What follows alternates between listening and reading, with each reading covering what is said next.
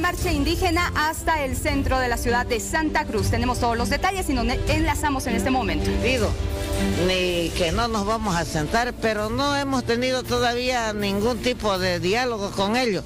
Nosotros tenemos nuestro pliego petitorio y ellos lo suyo y nosotros respetamos, pero de que son nuestros hermanos de la Amazonía sí lo son.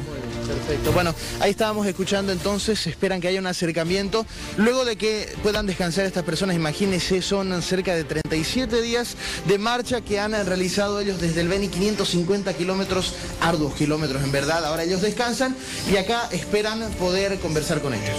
Bueno, vamos a puntualizar rápidamente, estamos a nivel nacional porque todo el país está expectante de esto. Los indígenas chiquitanos que están en la plaza principal 24 de septiembre desde el 23 de este mes pasado, eh, están allí y tienen pliegos petitorios similares, pero también algunos otros diferentes a los de la marcha que vino desde el Beni y ha llegado anoche a Santa Cruz de la Sierra. Ahora, ¿qué pasa en el Coliseo de la Gabriel René Moreno? Estamos contigo, Carlos Ligerón. Allí pernoctaron los indígenas que llegaron anoche. Cuéntanos. Fernando, buenos días. Quiero mostrarle el panorama a esta hora de la mañana. Ellos primero llegaron a la plaza principal 24 de septiembre y luego de conversar con las personas que llegaron hasta este lugar a recibirlas, se dirigieron hasta el Coliseo de la Universidad Gabriel Renan Moreno para poder descansar. Recordemos que son 37 días que ellos caminaron desde el Beni hacia Santa Cruz. Vamos a hablar con el secretario del Parlamento Indígena, Miguel Valdivia. ¿Qué va, qué va a suceder a partir de ahora? Buenos días a toda la población que ve su prestigioso medio. Bueno, el día de hoy eh, ya se va a realizar el debate entre el gobierno gobierno nacional, los organismos internacionales y también el Parlamento indígena en el cual conforma cada uno de los asambleístas, los cuales somos los marchistas.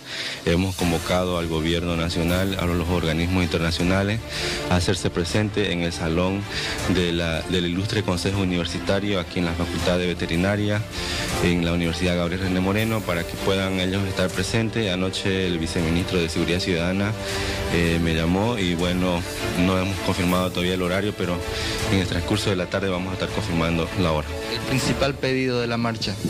El principal pedido es eh, que se anulen todos los, títulos de dotación de tierra que se han dado en nuestros territorios indígenas.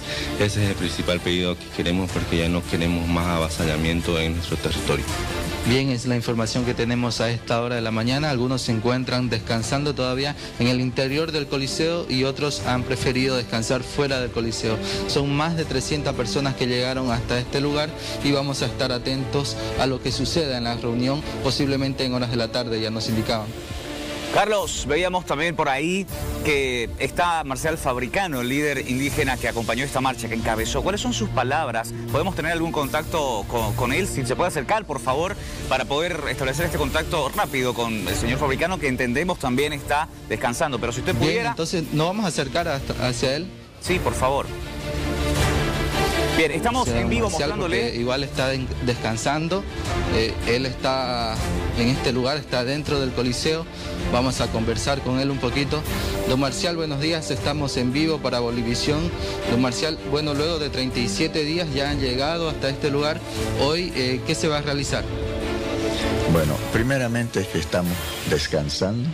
Este día solo nos vamos a dedicar a la recuperación de nuestro estado físico, ¿no es cierto?, para estar bien y a manera también de esperar la respuesta eh, oficial, formal, a las instancias que nosotros este, nos interesa ver, deliberar eh, en el nivel en lo que nosotros hemos estado como Parlamento Indígena.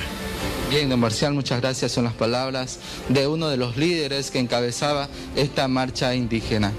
Carlos. Conocemos que los originarios también, eh, quienes están realizando, han realizado esta movilización y caminata por 37 días, han enviado una carta al presidente del Estado para tratar de buscar el diálogo. Veremos qué sucede en las próximas horas.